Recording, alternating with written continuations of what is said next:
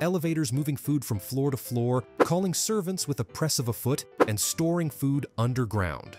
Let's take a step back in time to rediscover some old home features. In this video, we are exploring 13 home features that have faded into history.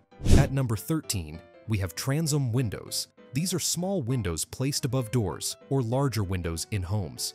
They were prevalent in architectural design during the 19th and early 20th centuries, commonly found in Victorian, Georgian, and colonial-style houses. These windows served multiple purposes, including adding ventilation, allowing more natural light into rooms, and often acting as decorative elements. Their design varied from simple rectangular shapes to more ornate styles with decorative glass or intricate patterns. The need for transom windows decreased when central heating and cooling systems became popular. In contemporary architectural styles, fixed transom windows are popular. They add elegance and timelessness to a house. Laundry chutes were practical and convenient features found in older homes, especially during the mid-20th century. These were built-in passages or tubes running vertically within the walls. They allowed residents to dispose of dirty laundry easily from the upper floors into the basement or laundry room. Laundry chutes were a time-saving solution, People didn't need to carry bulky laundry baskets up and down stairs. These chutes were often integrated into closets or hallways, making laundry chores more manageable. However, washing machines and convenient laundry rooms on the same floor minimize the necessity for such features. Nevertheless, laundry chutes can still be found in commercial buildings, hotels, or larger residential complexes. Back in the day, dairy was delivered in a fascinating way, Milk doors. Milk doors were small openings, usually near the house's kitchen or back entrance. They let the milkman deliver bottles of fresh milk without entering the home. These doors had a small latch or swing door, allowing the milkman to leave bottles securely. The latch or swing door would then be closed securely, ensuring the safe storage of the delivered milk until someone from the household retrieved it. Families could have their fresh milk delivered without needing to be present, and the design of the milk door ensured that the milk stayed protected until it was collected by someone from the household. As refrigerators became more common and people started buying milk from stores, the use of milk doors declined. Nevertheless, milk doors were a testament to the efficient delivery systems of the time. Grand staircases were prominent architectural features in older homes. They added elegance and grandeur to their interiors. Upon entering, these expansive staircases were often the focal point, designed to impress and make a statement. Fine materials such as hardwood, marble, or ornate wrought iron were used to craft these. The staircase showcased craftsmanship and intricate detailing and also served as a symbol of wealth and status for homeowners. These staircases were strategically positioned, often in the foyer or central hall, creating a dramatic visual impact. They provided a majestic transition between levels, connecting various parts of the house. Over time, functionality took the place of aesthetics.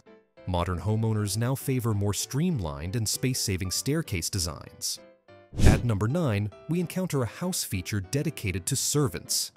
The servant floor button was a discreet device used in elite households.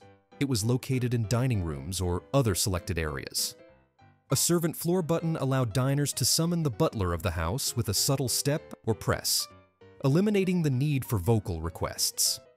In the 19th century, these buttons were placed in elegant dining spaces where formal gatherings took place. They served as a symbol of luxury and meticulous attention to detail, allowing guests to signal the butler for assistance without interrupting the ambiance of the dining experience. The mechanism was simple. A step or gentle press on the designated spot in the floor would trigger a soft chime in the servant quarters, alerting the attentive butler. The butler would swiftly respond to the guest's needs and maintain the sophistication of the dining affair. Root cellars were storage spaces commonly found in traditional homes before refrigeration was widely available. These underground or partially buried rooms were used primarily for preserving fruits, vegetables, and root crops. Typically constructed in rural or farmstead settings, root cellars were designed to maintain cool, dark, and often damp conditions. They varied in structure, ranging from dugout caves to specially built rooms, sometimes in a basement. These spaces were carefully crafted to ensure a stable environment that helped extend the lifespan of produce. Root cellars were vital to household food storage, enabling families to preserve their harvests year-round. They were especially crucial in winter when fresh produce was scarce. However, As refrigeration became widespread, the need for root cellars diminished. It might seem odd to encounter a door divided into two parts, but that's exactly what Dutch doors are all about. Dutch doors, also known as stable doors or half doors, are unique because they consist of two separate sections, allowing the top half to open independently from the bottom. Originating in the Netherlands during the 17th century, these doors were initially designed to keep animals out while allowing fresh air and sunlight to enter the home. Their split design enabled people to enjoy the view or converse with passersby without fully opening the door. Dutch doors became popular in colonial America and were commonly found in farmhouses and rural settings. They provided practicality by allowing ventilation while keeping livestock away or serving as a barrier for small children and pets. At number 6, we have one of the characteristic features of Victorian-era homes. The parlor was a formal space for gatherings and showing off the family's status. Located near the front of the house, it aimed to impress guests. The parlor had fancy furniture like sofas and chairs, beautifully designed tables, and elegant decorations like carpets and drapes. These items added to the room's grand appearance. The parlor served multiple functions, often doubling as a music room, reading area, or even as a space for family activities. However, its primary purpose was for formal entertainment. Families would receive guests, host gatherings, or engage in social activities like playing music, reading, or conversing in this refined setting. The butler's pantry was a useful room in wealthy homes during the 19th and early 20th centuries. It acted as a connection between the kitchen and dining area, making meal service smoother. Inside, it had cabinets, shelves, and counters for storing and displaying dishes, glasses, and silverware. This space was where household staff, like the butler, prepared meals without disturbing the dining room. It often had sinks and sometimes extra appliances, helping in meal arrangements. Besides its practical use, the butler's pantry showcased the household's wealth and taste. However, as lifestyles changed and homes favored more open designs, the popularity of these pantries declined. Modern homes now prefer integrated kitchens and open layouts, reducing the need for separate service areas. Next, we have servants' quarters. These were dedicated living spaces in old homes where household staff like butlers, maids, or cooks resided and worked. These areas were separate from the main living areas and provided accommodation for domestic workers. These quarters were located in the upper or lower parts of the house, Elite households often had separate blocks dedicated to servants. The quarters were designed with simplicity compared to the grandeur of the main home. They typically had small rooms with basic amenities like beds, a communal area, and sometimes shared bathrooms. Servants' quarters were essential for households with live-in staff, ensuring they had a place to sleep, eat, and relax between their duties. Moreover, a bell was installed in the quarters so the household members could easily call the staff when needed. Boot scrapers might seem unusual nowadays, but these simple yet practical devices were once common sights outside homes and buildings. In the 1700s and 1800s, the lack of paved roads and good drainage systems made everyone's boots muddy.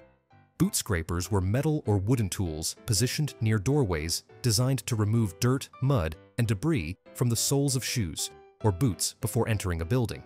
Their purpose was straightforward, to help keep interiors cleaner by preventing the outdoor mess from being tracked inside. In urban areas at least, boot scrappers are not needed. However, variations in wood and plastic could be found in rural areas. Washstands were essential furniture commonly used in homes during the 18th and 19th centuries. These stands were small, often made of wood, and featured a tabletop with a basin, pitcher, and sometimes a towel rack or storage space underneath. Primarily situated in bedrooms or near water sources, washstands provided a designated area for personal hygiene routines before indoor plumbing became widespread. People used them to wash their face and hands, and sometimes even for minor tasks like shaving or grooming. During their heyday, washstands were practical solutions for maintaining cleanliness and personal grooming. However, the need for standalone wash stands declined as indoor plumbing and bathrooms with built-in sinks became standard in homes. You can now find washstands in period shows, movies, or architectural magazines dedicated to vintage and antique designs. At number 1, we have the most interesting feature of today's list. Dumbwaiters are small, movable elevators designed to transport food, dishes, or other items between different building floors. A dumbwaiter was a small elevator-like compartment housed within a shaft or cabinet. Before mechanical motors were added, they were operated manually by pulling ropes. They were usually situated in spaces like kitchens or dining rooms.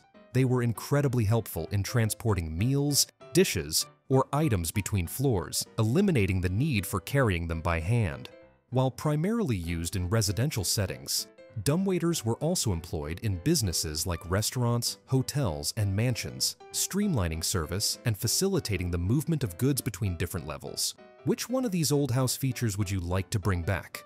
Let us know in the comments below. Remember to like and subscribe to our channel. And as always, thank you for watching.